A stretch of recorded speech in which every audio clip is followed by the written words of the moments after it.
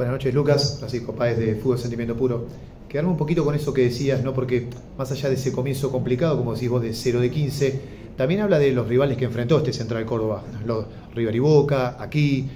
El equipo va, creo yo, en un franco crecimiento dentro de esos pequeños momentos, como decís vos, de que el equipo bueno, se va sintiendo cómodo, se va sintiendo sólido, ante rivales que se sabe que no permiten mucho lugar al error. ¿Consideras un poquito de esa forma que el equipo va dando pequeños pasitos, pero en pos de lo que querés?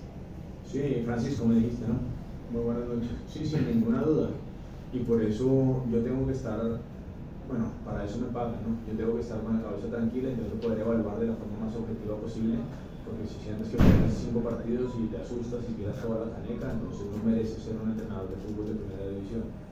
En este caso, si nosotros hubiésemos jugado un torneo en donde enfrentas a River en la fecha 1, después a Boca en la fecha 8, después a Belgrano en la 12, después a Talleres en la 18 y en la 23 terminas con Argentinos, es probable que nosotros, por la diferencia de presupuesto que tenemos, perdamos esos cinco partidos pero entre ese primer partido y el 23 vas a ganar muchos partidos.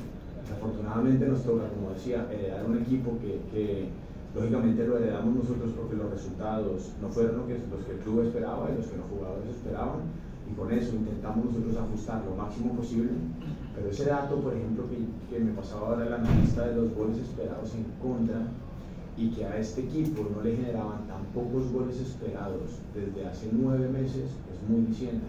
Lo que quiere decir que han pasado, si no estiman 32 o 33 partidos en donde siempre las ocasiones de gol que le crean son muy superiores a lo que pasó hoy. Y este equipo es muy bueno, este equipo es muy, muy difícil. Un equipo que, aunque no hizo desafortunadamente para ellos una gran Copa Libertadores, representó a la Argentina en Copa Libertadores y le ganó a River acabamos de enfrentar a un equipo que es muy difícil, que nos puso en máximos problemas y los chicos fueron capaces de por lo menos intentar eh, esa desbalanza que hay en el papel, intentar hacerla así y ponerlos a, a sufrir un poco. Lucas.